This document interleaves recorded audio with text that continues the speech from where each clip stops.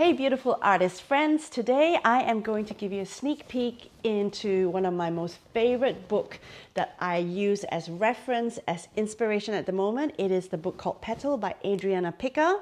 And I'll also be sharing with you all the paintings that I have made using this book as inspiration. So I hope you will enjoy this video. Keep watching. And this is my copy of Petal and unfortunately I have left it in the sun so it's actually ruined the cover a little bit but it says here the world of flowers through an artist's eye and this gorgeous book is by Adriana Picker and she's an Australian digital artist and if you follow me on Instagram and on Miss channel I really very often um, use her book as inspiration for my paintings. So I can't wait to show you this book and several of the paintings that I have used um, I mean, painted using her reference. Let's start by the first one, which is the actual cover. So I love to paint the cover because usually um, a lot of books, they put the best photo on the cover, isn't it? I don't know how they choose um, paintings or what put they put on the cover. But I love the cover because it's got these gorgeous poppies and I just had fun painting them in my sketchbook. It's obviously not my most favorite painting or anything, but uh, just wanted to show you an example of how um, I use this as inspiration. I was quite close to the color palette and I just experimented with brush strokes to create um, that same way that she does. So the beautiful thing about her art is that although it's digital, it is very much like watercolor. And oh my gosh, just look at this first page petal. In fact, let me find you another painting that I think I use this page as inspiration.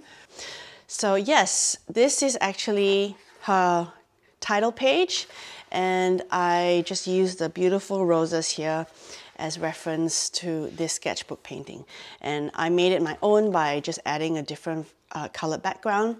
And I love all my sketchbook paintings. If you want to know which sketchbooks I use, um, I put the link in the description below, but this one's a Stillman and Birn, and I even have some videos that I talk about the different sketch sketchbooks I use, and I have a couple of sketchbook tours as well.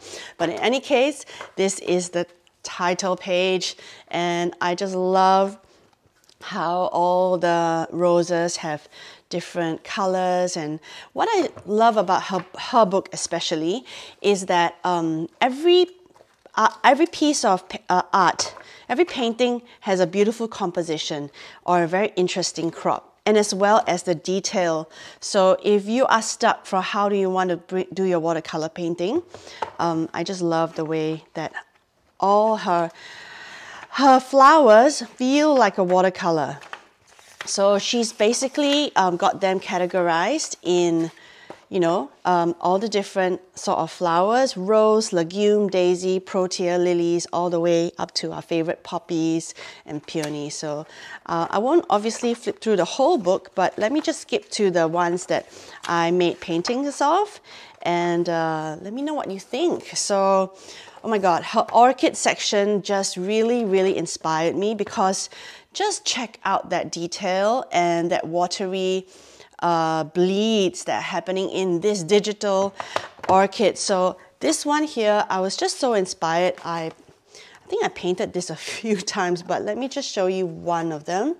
All right, so this one is almost a direct sort of like copy well, not really direct, but very, very influenced by this painting. Three different shaped um, orchids. And then I kind of like did another one. I think this is the one earlier. So as you can see, I used a bit of neon here and lots of splatters. So I just found this painting really, really inspiring for me to create two different sketches of it. Um, just love the orchid section. I mean, orchids don't really get that much attention, I feel, because maybe it's tropical. Uh, but I did a, a larger one. Oh, wait, hang on. This is another one that I did. Is that crazy? And I believe this is also inspired by this first one. So it's these two, but I added a really dark background. Um, and let me show you one more orchid piece that I'm sure is inspired by these orchids here. So this is a large one. It's a full sheet watercolor paper. And I'm not sure it's quite done yet. It still feels like it, the more layers could be added on. But these two here are inspired by these ones here. And I think this inspired this one here. So uh, overall, I love the orchid paintings. And also I did one for an exhibition where I painted my body as well with orchids on it. I won't show it here because um, it's it's hidden somewhere, but I love the orchids. Okay, let's go on.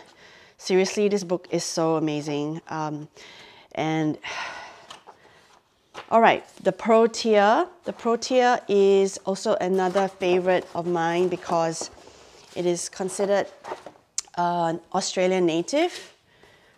And here is my painting of this page, which I did very, very quickly. And I have filmed it actually, so it will become a YouTube video, um, which I really use these two proteas as inspiration for this. Just loved how it, how it turned out. Super simple, super bleedy. I love it. Um, I also actually made a spread on this same sketchbook featuring a few more of my the native florals. Hang on, let me find it. There we go.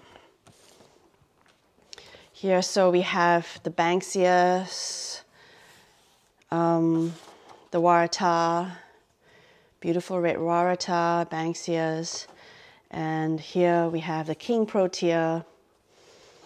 Yeah, so I love this page, I love this spread. All right, what else? We've got the lily section, which is super gorgeous. The iris. Now, I definitely you know me, if you know me and follow my channel, I'm nuts about the iris. So I have painted this a few times, I'm pretty sure. But let me find the first time I did it here on this this sketchbook. I, I think I did a sketchbook tour on this one already. And uh, yeah, it's basically from this gorgeous uh, inspiration. Simply stunning. Love it so much. Let me flip yeah, and I showed you the front cover where I did those uh, poppies. Let me show you another one here. This is actually a whole page of poppies that I used from her book. So I kind of like flip through a couple of the different poppies. I got this one here from this one. So you can see, sorry, can't really see there. And then these blue ones from here. And then these orange ones from, from here.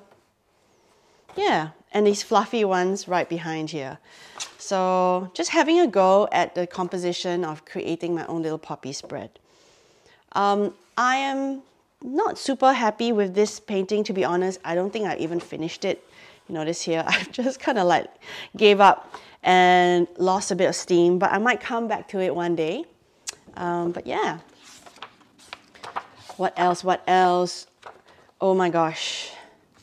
Passion flowers. So these pages of passion flowers, also super inspiration, inspiring. So much so that I painted these. Let me show you. And you might recognize this if you do my tutorials. This one is using the Christy Rice brush, her three quarter inch dagger.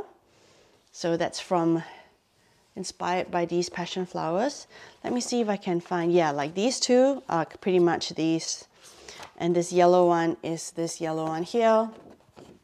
And then I also did another one using inks, my watercolor inks, uh, liquid watercolor, using these as inspiration, passion flowers. All right, last but not least, I have this gorgeous da -da -da, hollyhocks if I can say so myself, I'm so happy with them. They're so pretty. Um, this is pretty, obviously, but I think my painting is really pretty as well. Um, I did two, actually did one just for fun, and then I um, painted it again and recorded it for my Patreons.